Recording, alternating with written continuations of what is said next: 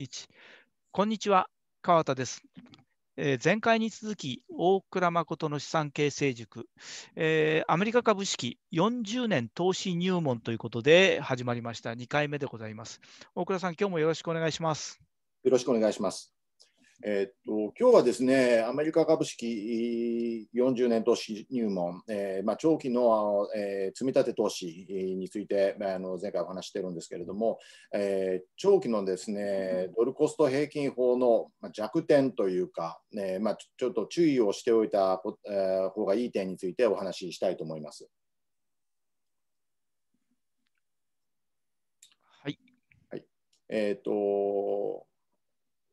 大倉と申します。で、えーシティバンク、シティトラスト、ソシエテジェネラルで、働いた後、2017年に京都でイーグルキャピタルを、えー設立しています。はい。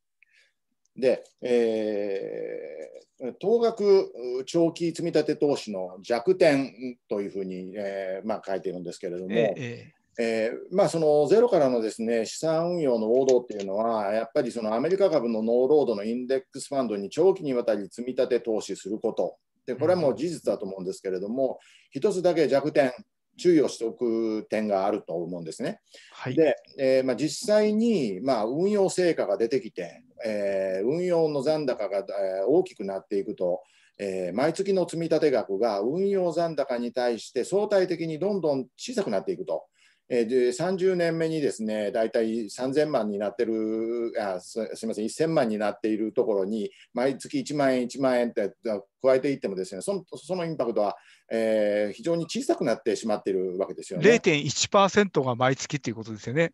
ですね。まあ、確かに塵も積もればっていうのはあるんええですけど、えええただそうすると、やっぱり市場の下落時に買い下がっていくとは言ってもですね、そのドルコスト平均法の効果、まあ、要は買い下がることによってポートフォリオの効果を下げる効果っていうのは、まあ、低下してしまうわけですよね。で、それをまあなんか考えなきゃいけないということだと思うんです。で、えー例えば、その毎月1万円で当額投資した場合の、えーまあ、40年後の、えー期間別の運用残高っていうのを見てみたいと思うんですけれども、はい。まあ、最初の、えー10年間で積み立てる120万というのが、えー40年後には、えー1100万ぐらいになってるわけですね。で、それは、えー最終的に約2200万ぐらいの運用残高になるうちに占める割合っていうのが、やっぱ半分近くあるわけです。50%なの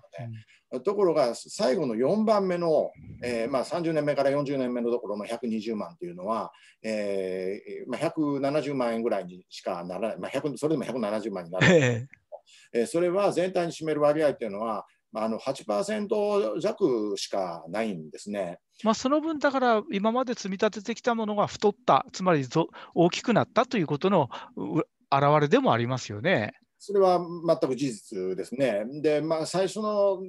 ですので、前回にもお話ししたみたいに、最初の30年で大きくしましょうっていうのがまさにそういうことだとは思うんですが、ただ、えーその後に、えー大きな調整がか仮にあったとしたら、せっかくはい1000万円貯めたのに、えー、会社があるときにあの、金額がどんどんどんどんう相対的には小さくなってしまってるわけで、えーそうなるとですね、いくら下落して、まあ、本当に大きなに20%、30%っていうような下落があったとしたら、それはもう毎月の1万円というのは焼け石に水っていうことになってしまうと思うんですよね。えーそれで、まあ、それを、まあ、そういう意味でドルコスト平均法の効果を維持するためには、じゃあどうしたらいいのか。まあ、それはまあ可能であれば時間の経過とともに金額を増やすと良いと、そんな当たり前でしょって話なんですけれども、まあ、実際ですね、じゃあどういう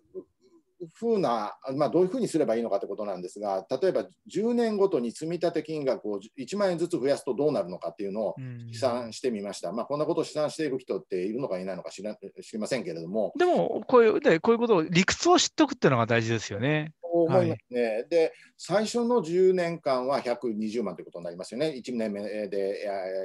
えーえー1ヶ月1万円なので。うんで、にえー2番目のえー10年間は2万円なので、そうすると積み立て額は240万。で、3番目の10年間は360万。で、最後の、まあ、30年から40年のところの10年間というのは480万円積み,、えー積み立てることになる。うんうんそうすると、まあ、計算するとですね、累積の運用残高っていうのは約3900万ぐらいになるわけですね。ええ。で、それに占める最初の10年の、えー、寄与度っていうのは28%、で、2番目が30%、で、3番目が40、えー、24%で、えー、最後の10年間っていうのは、えーきえー、1万円ずつ積み立てた場合っていうのは、えー、8%程度だったわけですけどそうそうそう。えー、17%まで増えるわけなんですよね。まあ、年間だから480万積まないとダメなんですよね。ということになりますまあ、500万円近く、まあ、投資するっていうことになりますと、まあ、それなりにあの、まあ、高級取りになりなりますかね。まあ、ただ、えー、最初、まあ、例えばこの運用をですね、25歳から始めるとしたら、うんうん最初の10年というのは25歳から始まります。2年目は35、4えー、3番目はえー45で、ご最後のえー10年間というのは大体55から65歳までこれをやるとしすると、はい。まあえー最後の、まあ、要は55歳ぐらいになった時に、まあ、4万円やるのは苦しいかっていうふうな話にはなるんだと思うんですよね。うんうんうんさ25歳の時に1万円積み立てれたんだから、えー、55歳であれば1万円ぐらいはなんとかなるっていう可能性はなるほどな。あ僕、すいません、ちょっと間違えたのは、480万というのは10年間で480万だから、年間50万弱ですね。そうですね、毎月4万円っていう話。これはあの普通にあの立派にああ額に汗してれば可能な金額ですよね。だと私は思うんですね。はいはい。でそうすることで、まあ、要はドルコスト平均法のこの買い下がりの効果っていうのはある程度は維持できるということになるんじゃないでしょうか。うんはいでまあ、ただその、まあ、その定額、えー積み立てて金額は一定型と増加型を比べてみた場合に、じゃあ、どっちが優れてるのか、これは実は、まあ、どちらとも言えない部分は実際はあるわけなんですね。えーまあ、目標額を約4000万として比較してみましょうということで、ここではか、えー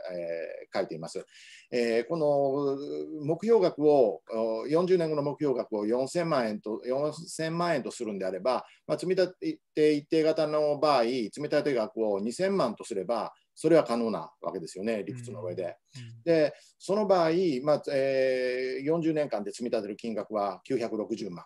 それに対して、まあ、40年後の残高は4360万。4000ねはい。はい、でそれに対して積み立て額を毎、えー10年ごとに1万円ずつ積み立てると、えー合計額は増やしていくわけですね。そうですねええええで総積み立て総額っていうのは1200万、それに対して、えー運用残高の総額が、えー3900万、うん。まあ、どちらが大きくなったかというと、まあ、前者ではあるんですよね。うん。うん。でこの大きな違いのあの原因っていうのは、最初の、えーこの240万円、これが2200万円になってるっていう、ここがやっぱり大きいんですよ、ね。聞いてますよね。はい。うん。で、その2番目の運用を始めて 20, あー20年目経ったところだと3300万、3400万ぐらいになってるわけですけども、うんうんえーこの積み立て増加型だと、まあ、2200万円ぐらいということになるので、ええやっぱりその、えー福利で大きくなっている期間に大きく大きなお金を置いておいた方が、結果としてはいい、えー成果が得られるという話にはなってくる。はい。うんただあの、どんどんどんどん大きくなって、最後の4番目のところで大きな調整あったときにどうするのっていう部分が、やっぱり、えー結構、えー心配材料じゃないかと思うんですよね。例えば、その40年目のところでリーマンショック来ましたとか、40年目のところでコロナショック来ましたと言ったときに、うん。毎月1万円じゃもうそれはもうやられていくばっかりって話なので、そこで、えーショックが起こるときにもう難品というか買い下がりの効果がき、えーを発揮させるために金額を増やしていくということで考えていけばいいと思いますし、でやっぱりさあの先ほど前のページでもお話したみたいに、えー年齢の増加とともに所得が増えていくとすると、25歳の時にも1万円で、例えば55歳になっても1万円っていうのは、なんかちょっ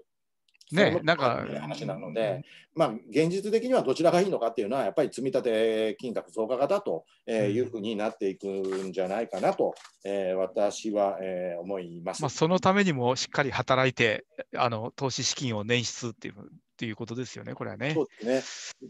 で、はいあのまあ、一点ちょっと加えておくと、まあ、あのどれぐらいの目標金額にするのかっていうのはあると思うんですけれども、これはやっぱり普通の、えーこういうアメリカえー株式の一般的なあの投資信託でやるのが、えーいいんだろうなと思うんですね。最近、なんかあの流行りみたいな感じになってるのかもしれないですけれども、やっぱりレバーかかった投資を使って積み立てっていうのはあると思うんですけれども、あレバレッジがかかったやつね。そうですね、レバええ例えば2倍とか3倍とか、ええ上がるときにはすごく上がるんですけども、下がるときにも強烈な勢いで下がるわけですよ。ええええ大きくなった金額があっという間に吹き飛ぶっていうことで、まあ、その後また戻ればいいんじゃないかっていうのを思うかもしれませんけれども、その恐怖心に勝つのは、なかなか、うん、経験あるファンドマネージャーでもむ難しい、投資家でも難しいんじゃないかと思うんですね。思います。そう思います。まあ、そのリスクはほどほどにということに、えーなるんじゃないでしょうか。はい、わかりました。今回はここまでですね。そうですね。はい、はい、じゃあ次回またよろしくお願いします。失礼します。